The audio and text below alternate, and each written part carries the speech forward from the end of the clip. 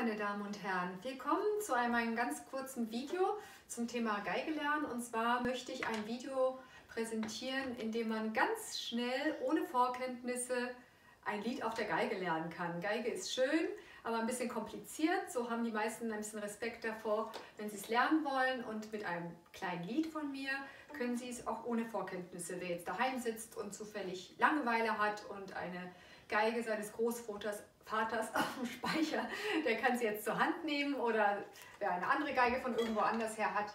Und zwar äh, geht das Lied so. Auf der grünen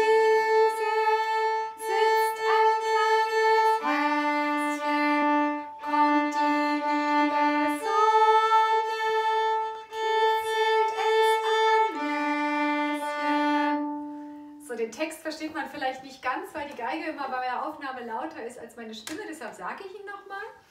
Auf der grünen Wiese sitzt ein kleines Häschen, kommt die liebe Sonne, kitzelt es am Näschen.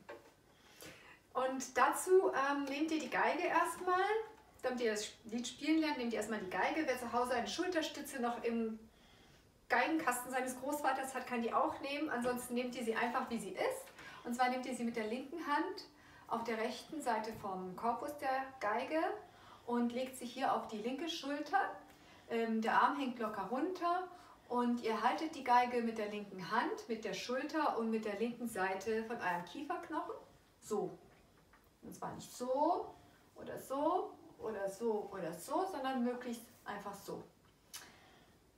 Ihr könnt dazu auf zwei Beinen stehen oder irgendwo locker sitzen. Hauptsache ihr sitzt ein bisschen aufrecht. Genau, so hält man die Geige. Ich hoffe, ihr habt das jetzt alles geschafft. So, jetzt kommen wir kurz zum Bogen. Das ist der Geigenbogen. Und äh, der Bogen wird nicht gehalten, sondern ausbalanciert. Dazu gibt es eine kurze Übung. Äh, ihr nehmt Daumen und Mittelfinger und haltet ihn hier mit der linken Hand erstmal und dann im Schwerpunkt Mitte, die ist weiter unten am Bogen, hier um die Stange rum, wie so ein Schlüsselring. Am besten über ein Bett im Sofa, damit wenn er runter, runterfällt, nicht kaputt geht und versucht ihn so auszubalancieren. Das ist eine ganz gute Übung fürs Bogenhalten. Wenn ihr das gemacht habt, seid ihr schon ganz gut. Ähm, die eigentliche Bogenhaltung geht dann so. Das muss man lange trainieren. Das zeige ich in einem extra Video. Da gibt es auch ganz lustige Übungen zu. Ansonsten habt ihr, ähm, erkläre ich das ganz kurz nochmal. Hier ist der Ring aus Daumen und Mittelfinger. Der Zeigefinger kommt hier oben hin. Der Ringfinger kommt auf dieses Froschauge. Dieses Teil heißt Frosch. Und da kommt der Ringfinger auf dieses Perlmuttauge. Und der kleine Finger hat eine extra Position. Der kommt hier oben auf die Bogenstange. Und so könnt ihr das Halten üben. Genau, und ähm, jetzt spielen wir nochmal dieses Lied. Dazu nehmt ihr wieder die Geige in die linke Hand, auf die rechte Seite vom Geigenkorpus. Und den Bogen könnt ihr jetzt auch so in die Hand nehmen. Ich nehme ihn ähm, richtig in die Hand, weil ich das so besser kann.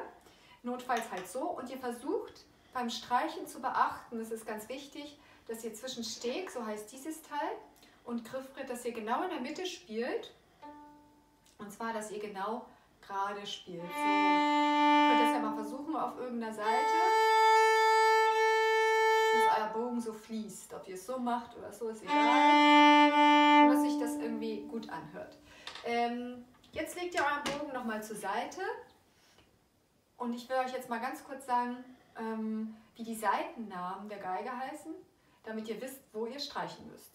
Also die Seitennamen sind G, D, A, E. Und dafür gibt es einen ganz süßen Spruch. Der geht so. Geh, du alter Esel. Also, G, D, A, E. Am besten versucht ihr das kurz zu zupfen. Und dann zupfen wir jetzt das Lied auf der D- und A-Seite. Und ähm, wir zupfen das jetzt mal alle zusammen und ich singe es dann.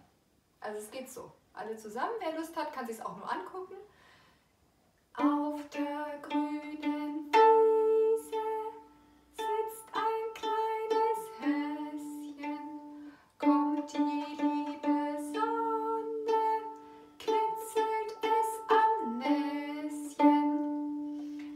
genau sehen könnt, ähm, zupfen wir nur die Seiten D und A, die in der Mitte sind, von den nicht die G und E, sondern nur die D und A Seite. So, Und jetzt nehmen wir den Bogen, so wie ihr ihn halten könnt, und streichen zwischen Steg und Griffbrett in der Mitte die D- und A-Seite und dabei spielen wir das Lied. Und ich versuche es ein bisschen langsamer zu machen, weil er hat mich ähm, darauf Aufmerksamkeit macht, gemacht, wenn es zu schnell ist, kann man nicht mitspielen. Jetzt nehmt ihr eure Geige nochmal und den Bogen und dann machen wir es schön langsam zusammen. Und auf der grünen